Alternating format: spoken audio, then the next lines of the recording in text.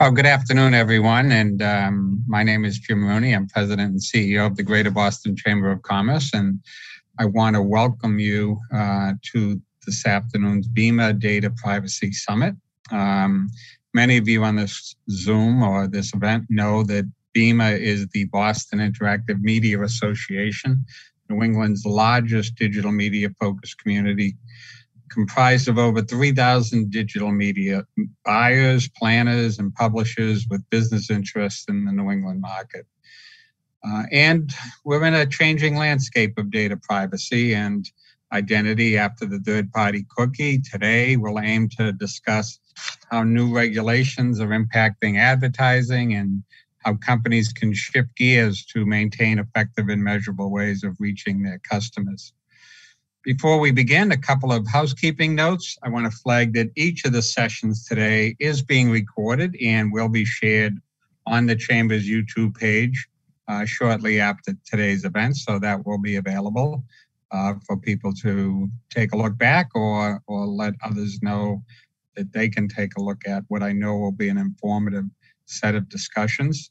Uh, and we want it to be interactive, so please submit your questions through the summit throughout the summit using the Q&A feature, or uh, you can also email questions to chamberprograms.com, um, excuse me, to chamberprograms at bostonchamber.com. So that's chamberprograms at bostonchamber.com. So uh, why don't we get started? I'd like to introduce Pam Ehrlichman from Jebbit, who is going to lead our first session uh, of the summit, uh, Future Forward, the rise of first party data. Pam is the Chief Marketing Officer for Jebbit with over 25 years of marketing experience. Pam is responsible for making Jebbit a household name among marketing professionals. Prior to joining Jebbit, Pam was the Vice President of Marketing for Oracle Data Cloud, which included creation and growth of Oracle Data Cloud's industry first, the Data Hotline, and the Data Lab brands, providing data strategy and education to brand, media, and agency partners. Pam will be joined in this session by Juliana Deason. Juliana is the digital marketing manager for Bliss, where she leads all email marketing, SMS marketing, CRM, and paid media efforts for the brand. Uh, so thank you, Pam. Thank you, Juliana, uh, for kicking off today's uh, session. Uh, and thank you to all of the speakers who will be joining us today. And now I'll hand it over to Pam. Great. Thank you, Jim. And thank you to the Chamber for having us today. Hi, Julie. How are you? I'm great. How are you? Good. We're we're hitting uh, two coasts on on the on this webinar today. Um, but thank you all for joining. Um, Julie and I uh, are going to spend a little bit of time talking about Bliss's uh, first party data strategy, and uh, I am honored and privileged that Jebbit plays a small part in that. Um, Julie, just to start us off, for those that may not have heard of Bliss, I'm not sure if there are any, but do you want to tell everyone a little bit about Bliss? Sure. So, um, Bliss is a skincare brand. Uh, we have been around for quite a while. Originally, we started with spas. Um, so, we had four spas throughout New York, San Francisco, and LA. And then we transitioned to um, retail in 2018. So, we are now sold in seven different retailers across the US. And we are a clean, cruelty free, and planet friendly skincare brand. So, um, we actually also just got B Corp certified about two weeks ago. So we're really excited about that as well. Love that. Congrats. Thank you.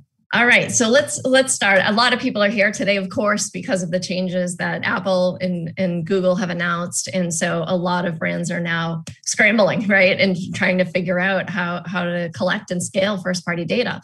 However, um, Bliss has been doing this before, way before it was cool. Um, Bliss has been focused on capturing first-party data about their consumers um, for a long time. And so, I guess the first the first thing could you share with everyone is just what prompted Bliss to start focusing on first-party data? Um, you know, way back when.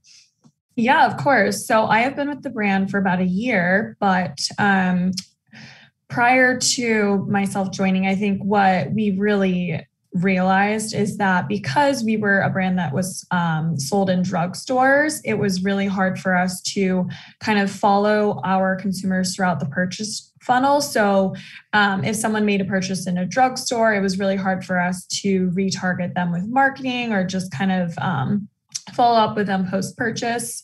So, we realized that because we do have um, a Bliss website, Bliss World, that was kind of our biggest opportunity to really kind of um, just continue speaking to our consumer um, pre and post purchase. So that was kind of something that, um, you know, when it comes to digital marketing, is really important to create a conversation with your consumer um, wherever you can. So we saw that as an opportunity and we just kind of developed our strategy um, using Bliss World as our main um, lever for first party data. Yep. Um, it makes total sense. And for many brands, uh, they're a lot of brands now are having to shift strategies, right? They may have been, and, and this happens with manufacturers all the time, as as you pointed out. You've got retailers in the middle. You you're not the direct connection to the customer, mm-hmm. and so a lot of manufacturers have been focusing on third party data for a long time, um, and and now have to make that shift to first. But Bliss was never really in the the third party data mm-hmm. game, uh, right? That's correct, right? Yeah, that's correct. I think for for the most part, we just um, have been trying to leverage first party data as much as we can, just to create a better um, marketing experience for the Bliss consumer. And and I guess more importantly, right, when we're talking about skincare, third party data doesn't really help you either with the t- kinds of questions that you really want to know um, about your consumers that are actually going to to make more valuable conversations. Mm-hmm. Yeah, definitely. I think when it comes to you know consumers basically trying to get them to buy what they want it's really important to just kind of ask them directly and kind of just figure out and you know everyone that's shopping online is willing to kind of provide um, information if they are um, going to get kind of a really personalized experience at the end of the day right and the pandemic was obviously a complete just catalyst for all of this, right? It forced it forced manufacturers, if they weren't thinking about it, how how they were going to actually create more relevant digital experiences now. Exactly. So let's talk. We, have we've, we've been we've been talking a little bit about obviously the the setup here and and what Bliss has been doing, but um, I think the best way to get everybody's heads wrapped around how you were doing this and how you're doing it at scale is to show them. So if we are, uh, I'm going to share my screen and hopefully this will all go according to plan here. But for everyone watching, we're on Bliss's site right now, and if you uh, roll over the "This is Bliss." section here, you can see some of the quizzes immediately. And so the first one, Julie, let's talk about is the Find My Routine quiz. I think this is the first one Bliss launched mm-hmm. um, and has been a huge driver for you. Yes, definitely. This um, quiz is about, I want to say two years old now. So this has really helped us um, tremendously with our data. Yep. So I'm just going to quickly go through this for everyone watching. Um, it's it's obviously a product recommendation quiz. It's asking about skin type, location. I love that question. Not how old, how young is your skin? Thank you very much. how much makeup do you wear regularly? Your skincare goal, this, of course, is a lead capture, and you're giving an offer. At Jebbit, we see you don't, uh, there's a lot of brands that do give an offer. Um, we've seen a lot of brands you actually don't need to, just giving that genuine value and that product recommendation back um, is, is enough. And then here you go. So, based on the questions that I answered, I now have three awesome product recommendations. So Julie, this is on this is on the site now, but um, this is launched in lots of channels, correct? Can you can you share a little bit about the strategy with this quiz with this quiz? Yeah, so I think um, obviously when you give anyone a personalized experience and a really interactive experience, people love to engage. So we've seen really high engagement rates um, with this particular quiz. So part of our strategy is obviously marketing this quiz in a way that's valuable to um, just people visiting our Bliss website. So I think when it comes to marketing this quiz, um, you know, because we've seen such high engagement, we've pretty much um, used email marketing, SMS marketing, and social media to just kind of drive, and even paid media to drive to this experience because we have seen such great engagement. And um, there is a value proposition to completing this for the consumer. So it comes off as a very genuine experience and um, you know we're both kind of winning at the end of the day they get a discount and we um, are gathering more data right and i love that and we go back to the the data and, and to your point about needing to ask the consumers you can't get from anywhere else what's my skin type what's my what's my mm-hmm. you know uh, skin combination and things like that. So mm-hmm. it's it's obviously really important that you're doing this in a way that um, is is highly accurate and direct. Yes, exactly. And I think um, you know the consumers are always very excited to take your quiz about and you know fill out their um, personalized skin type and all that stuff. Absolutely. All right, let's show one more and then we'll talk about some of the results you've seen. Um, which clear skin? Yes. All right, let's pop into that one. So, do you want to set up uh, a little bit about this one? Yeah, so actually, we um, launched this quiz last summer when we launched our new Clear Genius line, which is an acne skincare line. Um, part of the reason why we um, created this quiz was partially to um, gather data, but also to create like an experience that we could market to people to learn more about the new line. So I think, um, yeah, we should, we've seen extremely good results with this quiz, and I think it's um, really engaging. And I love this because now we're flipping, right? The first one was a product recommendation. Now mm-hmm. we're using trivia.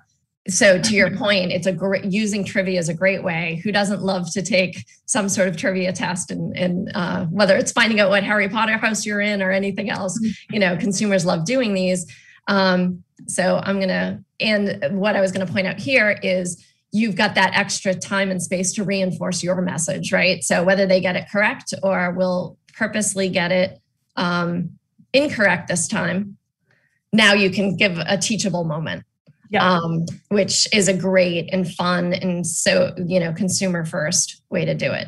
I will definitely get this wrong as I just quickly flip through. Um, but you're able to teach them about about the different ingredients in the products, and of course reinforce your your brand positioning of of yeah. everything's clean mm-hmm. yeah definitely so I, I love that um, i will stop sharing my screen now that everybody has seen it but let's um, can you can you share a little bit about um, some of the insights that you've you've learned and um, some of the performance that you've seen from doing getting collecting data this way yeah, so I definitely think in terms of insights, I was always impressed by um, you know the completion rate on these quizzes. I would say like we see very very high completion rate where um, especially with the skincare match we see about like 93% completion so i think when you are creating these quizzes it, it's always kind of like oh you know i'm just trying to gather as much information as i can but you have to be really thoughtful in like the questions that you're asking and like the data that you're gathering because people do complete these at a really high rate. So I was always impressed to see um, just that high completion rate and um, really good engagement rate. And I think also um, for Bliss, one of the most valuable things was actually our lead rate. So being able to gather those emails at the end is something that um, was really important for us as a brand because we are trying to gather um, and grow our database for email. And um, you know, just managing the email database, I've seen um, a really um, big increase in leads since we launched these quizzes. So um, that's really important as well because sometimes people just want to actually like engage in the quiz but um, we do see a high rate of um, capture email captures as well so that's been really exciting. Um, in terms of some of the tactics that we have used in order to market these quiz and promote quizzes and promote them um, we actually see a lot of the traffic on our website going to these quizzes. So, you know, when we're looking at, you know, where are people shopping on Bliss World and where are they engaging, these quizzes are always um, really high up there in terms of traffic. So that's been really exciting to see. Um, I think, you know, part of the online shopping experience, people don't always know what they want to buy if they're just browsing. So um, having those tools exposed at the top of our navigation has been really important for us. Just um, making sure that people are people know that we have these um, quizzes available for them is something that is really important and um, every time we send an email um, to our database about these quizzes we always see a really strong open rate and click-through rate um, in terms of you know comparing that to our just our average marketing emails we always see an increase there as well Yeah. Um, you just you just threw so there's so much to break down there. So I think all, across the board, right, all of your quizzes uh, that that Bliss and Jebbit do together have seen uh, in the high, you know, 90 plus completion rate, which is amazing. So for everyone listening, that means that the person once you click into an experience, they're getting they're getting all the way through like a high up, upwards of 90% of the people who once they start the quiz go all the way through which is amazing and then your point about about the lead capture rate is and, and i'm going to lead the witness a little bit because we're going to start to talk about the next question which is an email alone versus an email and three really important data points is obviously infinitely more valuable to you as a brand because now you know how to talk to them relevantly right for the for that follow-up communication. Um, and and we'll we're going to touch on that a little bit more too in terms of what are you doing with the data and, and, the next steps. But the last point i just wanted to echo and hit on what you what you said on email open rates and going back to again a more much more consumer friendly and consumer first way to engage is you've seen a 2x um, increase in email email open rate so instead of you know the subject line of just shop you know or buy now shop now giving them some giving the consumer something to engage with and and that's valuable to them um, certainly you guys have seen some amazing results from that yeah definitely i think um, anytime you give customers a chance to talk about themselves and provide information and you know people really love feeling like they're um, getting a personalized experience. So when you have a subject line like take this quiz, learn about you or your skin, yes. like what what like what products are right for you, the more personalized and um, you know, you know, like very specific you get in terms of um, subject lines, they're going to open at a higher rate. Yep, absolutely. Um, it's all it's all about me. um, so so with that, you you capture this lead. You you've got now three, four really important pieces of data about them. What's happening after after then the post moment for you guys? Yeah, so for Bliss, we have quite a few um, CRM flows that people kind of are put into in the back end um, via email and SMS and all of our other touch points, paid media as well. Um, so when you complete the quiz, you're providing us not only your email, but you're also providing us with all these other data points. So basically, what we do is we take the data points and then we kind of segment people into groups based on you know the answers to the data points that they provide and then we market them throughout their purchase funnel so if they haven't purchased we can retarget them based on you know skin type or age range or like you know what products we think work best for them. So i think um, that's one thing is just being able to follow up with hey like you haven't um, redeemed this skincare code from taking the quiz to okay they did buy something and now i know that they have dry skin. So taking that data point into consideration um, in the post purchase flow to you know show them products that are similar to what they bought based on their skin type. So you know they bought this moisturizer for dry skin so now i'm going to show them this eye cream for dry skin. So just kind of um, creating these different segments and affinities to um, provide them with more relevant marketing um, content down the line. Love that that's fantastic. And one of you touched on this earlier and i want to i want to kind of double click into it. So one of the secrets of your success is consumers genuinely love the experiences as you said because they provide genuine value.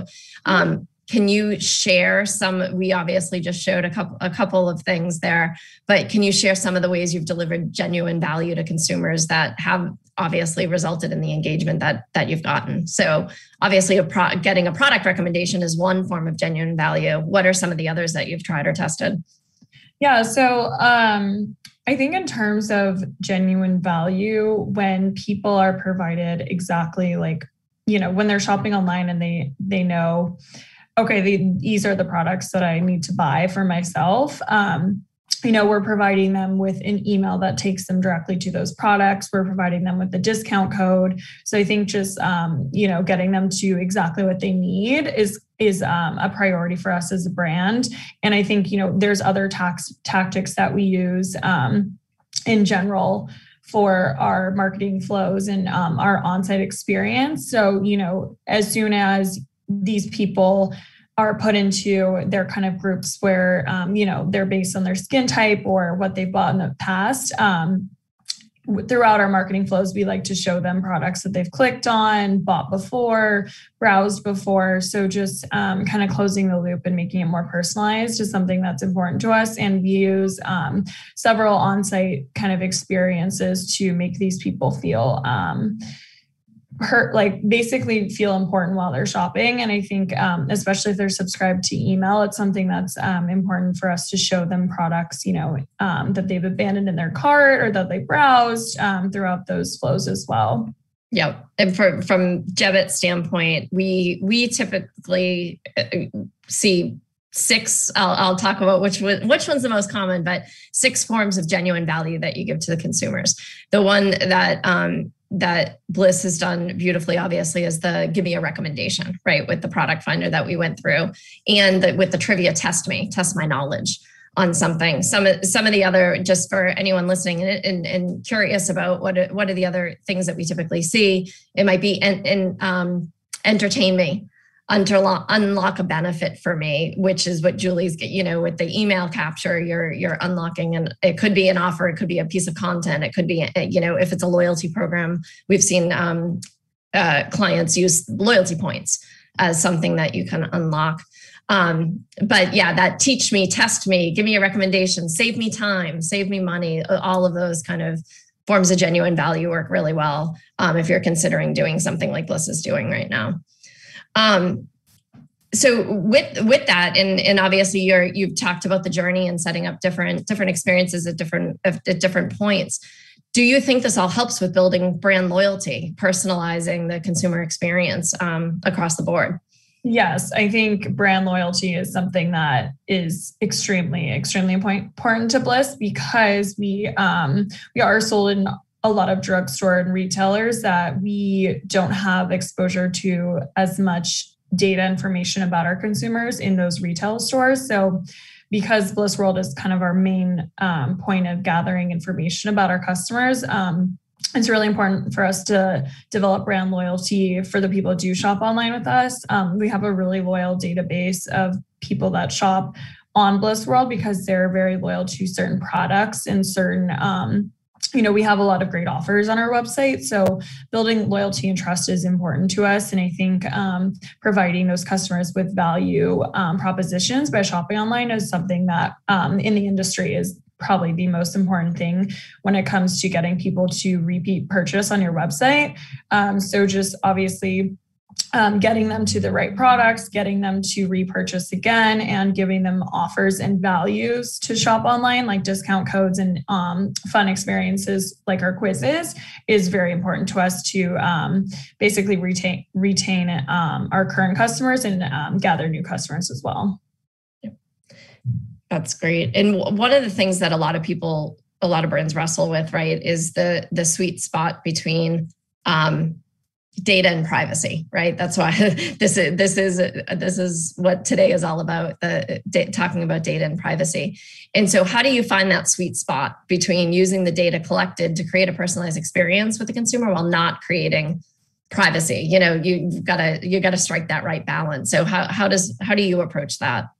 Yeah, so I think um, transparency is really important as a brand. Bliss is a very transparent brand. We always talk um, with our customers on social media. We're really transparent with, um, you know, our formulations, our who we are as a brand, and um, we really communicate that to our customers. So I think in every every single touch point that we are gathering data, we're always transparent in how we're using that. And um, you know, you are giving us your email, so there's always kind of like those disclaimers throughout the website. Um, you know, when you're taking a quiz and giving us your email or signing up for our email database or SMS database. So I think just being really transparent is important. And then, um, you know, we we try to create a personalized experience without um, kind of overwhelming the customer, making them feel like we're kind of giving them like too much personalization. So I think there is a fine line there. And I always try to make sure, like, you know, we're, I'm also showing these customers new products or stuff they haven't seen before so that it doesn't seem like we're just showing them everything they're browsing and that's it. So I think there is kind of a delicate balance there. But um, so far, you know, we've been able to maintain the transparency pretty well on our end. That's um it's it's really important and we um we do a report on data. So you hit on you hit on transparency, and we we do a report twice a year um, called the Consumer Data Trust Index. And so we go out and we ask consumers what um, leads to what is what is uh, their relationship with uh, the brand as it relates to data trust you know how likely are they to trust a brand based on certain actions they do and uh, we've been doing this study i think it's about our fourth or fifth every single time um, we do it, the number one reason that would lead to mistrust of a brand is asking for too much information. And so you hit on this before, right? Like you don't have to, the biggest thing that's changing with Apple and Google and what everyone was doing before with third party data is brands were collecting these massive data lakes and just trying to get anything and everything they could. Mm-hmm. And I think what you you've proven beautifully, Julie, is like it only it only takes four or five questions. Like it's really about focusing on what is important and what is it that's going to drive your recommendations and your conversation with the consumer. And just focus on that. You don't need to know everything. Yeah yeah, I also think having like a shorter amount of questions is going to help with the completion rate because it absolutely does. people don't want to do like 10 different questions about themselves without they'll probably start feeling a little bit overwhelmed. yeah. Then they'll and then it starts to get into like, why are you asking me all of these things? So, you know. Um, so you're right. We we see across all the brands we work with, there is a sweet spot of of four to five questions and then call it because you'll start to see those those uh, those drop offs, uh, yeah. the completion rate drop offs happen. Um, so the I guess a couple of things as we as we start to wrap up for anyone listening who is who is really thinking about how they're going to go about building a first party data strategy now what what would what advice what brands and um, what insight would would you give um, to anyone really starting on this journey yeah. So, what I think about when it comes to first party data is thinking about kind of where your customers are, where are they shopping your brand, and where the high traffic areas. So, if you have um, you know a brand website where are they already shopping on your website and can i show them something there that would um, prompt them to share their data so whether it's you know they're um, creating an account or they're just browsing, that's like a great opportunity to kind of market um, an experience to them where you can capture more data. So, you know, if your most um, if your high highest traffic page is your shop page, maybe there's something there that you can market within um, the products with like a banner or something asking people to take a quiz to learn more or um, if you're so if social media is your biggest engager like maybe start there with something like do you want to learn more about the brand? Is there a product you're interested take this quiz. Um, for another tactic that um, you know people that are really loyal are willing to share more information. So maybe it's something you can do with um, you know create in your account section, you know, like add your skin type or something like that. I think there's small places you can start to see if you're able to gather more data. And if it's something that's working, um, you know, there's several ways to promote and market these kind of experiences to your consumer.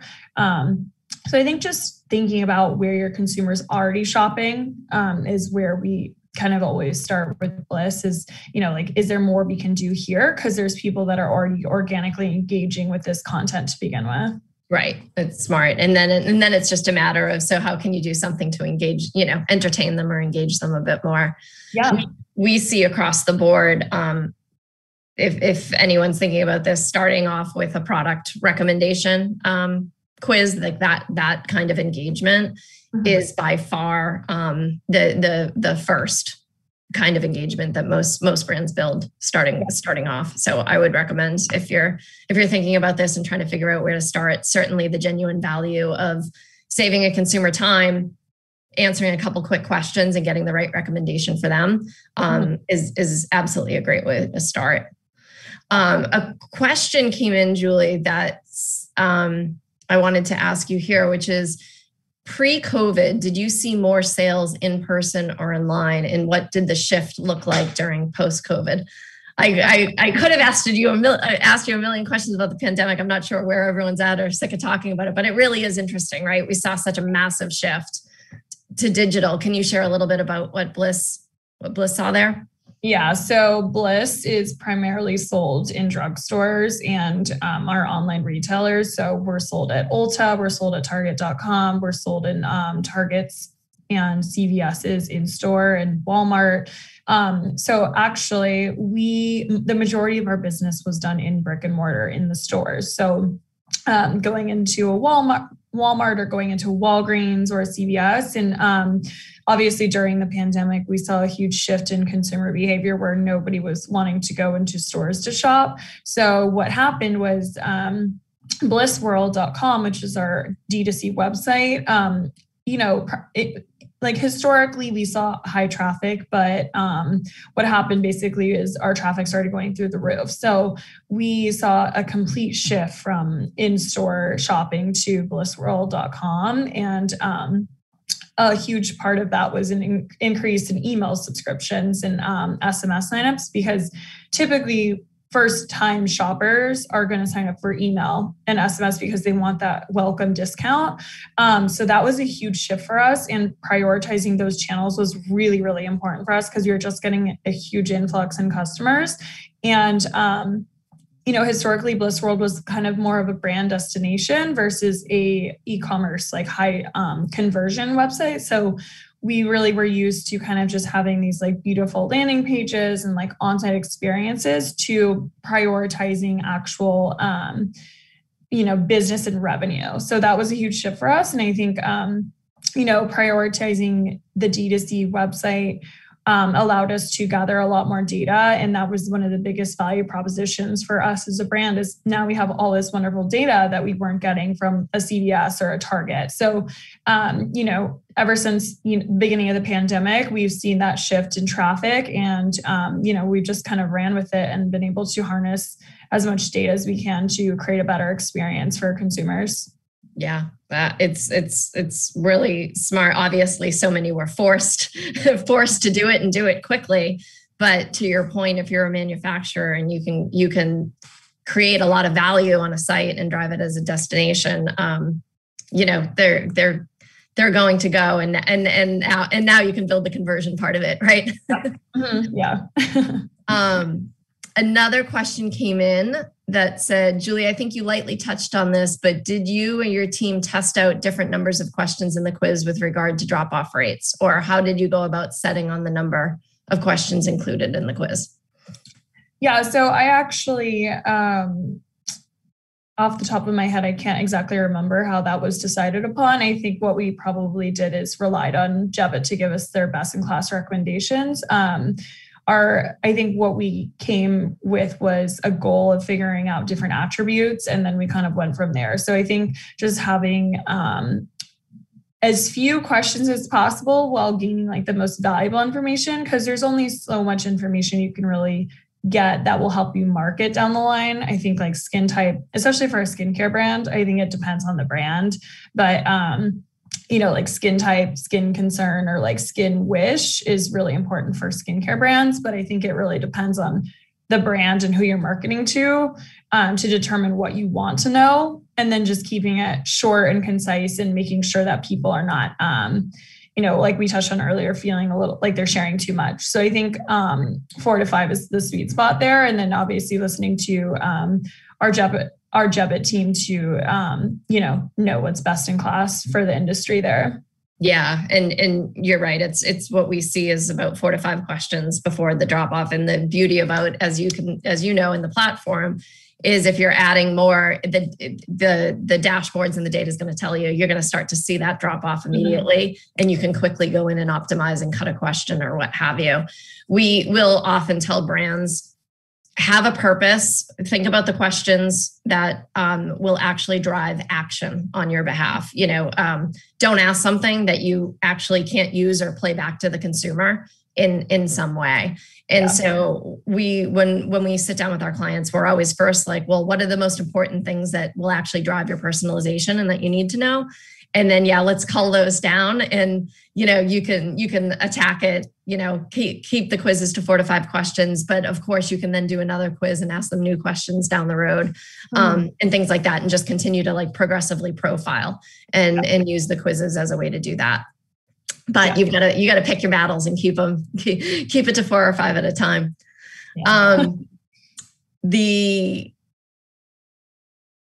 let's see. Sorry, I'm getting questions in, so I'm just trying to uh, quickly read through them. Has your use of first party data changed at at all from pre-COVID to now? Yes, definitely. I think um, I touched on this a little bit earlier, but we were, um, I guess, what part of what I've been doing for the brand is expanding upon our CRM flows. So just adding new flows um, based on our increase in data. So now that I have all this wonderful data about skin type um, and skin wish, we're able to kind of expand on the back end all of the flows that people are put in. So, you know, one of the things that we um, launched during the pandemic was our SMS marketing. So now that I know, like, you know, um, what type of skin type these people fall under, like I can market them down the line in other areas and other places um, of the post purchase funnel. And I think um, because we have so much more data now, there's just way more that I can do, especially in terms of retargeting and paid media. Um, that's a big piece as well. So, um, creating affinity audiences and using Google audiences, and um, you know, we are able to connect our data in the back end to provide to um, you know Facebook Ad Manager and just retarget people um, wherever they are, wherever they are. So. I think um, the pandemic just basically escalated and speed sped things up for Bliss. Um, you know, because historically we were really focusing on our um, drugstore business and um, our online retailer experience, but um, this has opened so many doors in terms of um, opportunity for us, just because you know the increase in traffic and revenue. Yeah, um, and I can I can also speak to some other industries. Uh, we have clients in travel that did a really good job post COVID of just checking in with people like are you ready yet? And we're here when you are you know? Mm-hmm. um, so thinking about we we saw a lot of clients like adjust their questions and do do check-ins and and how often do you want to hear from us right now? We realize there's a lot going on in the world. Yeah. and again like i said a great example is travel kind of figuring out when are people ready um, and knowing that they might not be right now but using the data to understand like within six months within a year you know where are you planning to go next et cetera mm-hmm. Um, let's see. A question from me. Has the transition from third party to first party data collection sparked any pushback from other retail clients? Have any been hesitant to take advantage of these strategies, or is it a necess- necessity that they've come to accept? No, I, I, no pushback whatsoever. I think all all brands realize again with these with these privacy changes happening and gen, honestly with the pandemic as well and and how important it is to build a direct relationship with consumers. So um, we haven't, at least the clients that I work with, haven't really seen pushback. I think a lot of, and Julie, you could speak to this too. Obviously, a lot of um, manufacturers still use second party data with retailers, like if you're co marketing with CVS or something like that. Mm-hmm. So there's still a role for all of it in, in the universe. But certainly, I think everyone understands the priority of first party data right now. Yeah, definitely.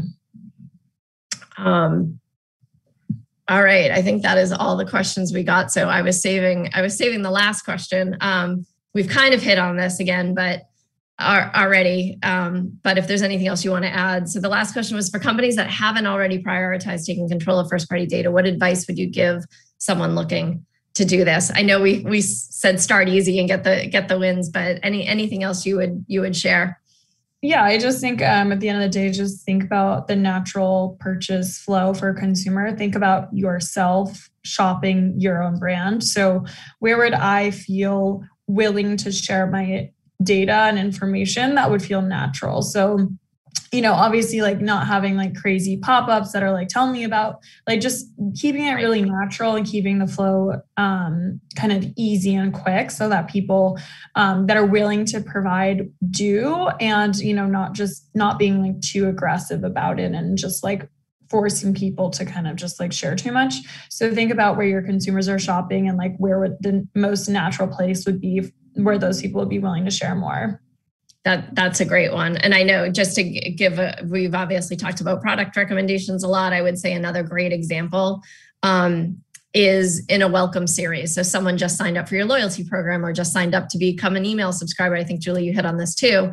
But that's a very natural place to say, "Hey, thanks for signing up. We want to learn a little bit more about you so we can make, you know, we can make this the best experience possible." So yeah. I love I love your point. It's it's genuine value and it's natural places in the journey um, to have those com- conversations. Yeah, I definitely think the welcome flow in terms of email or SMS and um, just like the on site experience is really, really a great place to learn more. And people are willing to learn more about their skin and like what products they want. So, you know, whether it's um, welcome to the brand, would you like to learn more about our products and directing them to a quiz or just, um, you know taking them to specific pages for their skin type is something that um as you know a marketing team that we like to do. So just keeping it really natural, basically. Yeah, keep it natural and helpful. Yeah. Provide value to the consumer and keep it natural. I think those are two really, really good points to leave everybody with. Yeah. Um, I haven't seen any other questions come in, but if you have any other questions, we uh, please please drop them in now. We're happy to answer. Um, otherwise, we we can wrap up and get you all onto your next session. Give it one more minute. All right. I don't see anything else coming in. Well, Julie, thank you so much for joining me. Thanks for sharing. Up. Oh. of course, as soon as I got to wrap it up. Um, if you had to share one key lesson to come out of this session, what would it be? Um, oh, sorry, we just got one more too. Um, I, th- I think how we just ended it, right? Maybe maybe someone was typing as we were just talking about that. I think I think again, uh, start simple, provide value to the consumer, and put it in a very natural setting. Don't force the data, force the questions. Yeah, yeah, that's exactly what I would say. yeah, um, and then Julie, one more question just came in that, and we didn't talk about CDPs at all, but do you think having a customer data platform is an assess is a necessity for any company, large or small, looking to leverage first party data. Yeah, so I think just having centralized data is really important. Um, you know, I've worked for brands that have their data kind of all over the place, and I've worked um, at places where that have a more centralized database. And I think um, you know you're gathering data from all different places, um, especially like when it comes to you know you you have data from your actual D2C website. Um, so your um, wh- whatever type of um, like website platform, whatever it's being hosted on. And then you have your ESP, so your email marketing, and then you have your SMS marketing, then you have your paid media. So just having a centralized place for that data is really important, and making sure that you're passing those insights across um, kind of all your marketing channels is really important. So um, also importing and exporting data where you're able to. Um, I always ask all of my um, vendors, am I able to share this data with this um, platform that I work on? And like, is that le- like, am I legally allowed to kind of pass the data between these two? And, um, you know, creating integrations where you can. So um, setting up not just manual imports, but um, like automatic imports where you can with the data is really important. So you're not doing um, kind of like data dumps every so often um, on your own. So just kind of centralizing that is super, super important. And I and I should add, obviously, the the data that Jebbit collects for Bliss is going right into. We're not you know we don't we don't view ourselves as as the data warehouse whatsoever all mm-hmm. brands are um, as Julie just spoke to, uh, putting the data into their central customer database. Mm-hmm. Um, great. All right. I think we are done with questions. So now I will wrap up and say, Julie, thank you so much for joining. I hope everyone listening got a nugget or two to take away from this conversation. Um, and yeah, feel free to um, to reach out to me if if you have any other questions and we're too shy to put it in, but I'm happy to answer anything. It's pam at jebbit.com. Um, and again, Julie, really appreciate your time today. Yeah, so, thank you so much for having me. always fun to talk to you. um, for everyone listening, uh, in about I think it's five minutes at 2:50, the second session, responsible advertising in the age of data privacy will begin. And in this session, Haran Patel, the chief product officer at Hybrid Theory, will join Irish Schlesinger of CarGurus to cover how consumer behavior is shifting in the ever evolving privacy landscape. what the future looks like as the industry moves beyond cookies and more. So to join this session, you're just going to click on session two, responsible advertising in the age of data privacy on the menu on the left. So thank you. And we hope you all join, enjoy the rest of the summit. Thanks so much. All right. Thanks. Bye.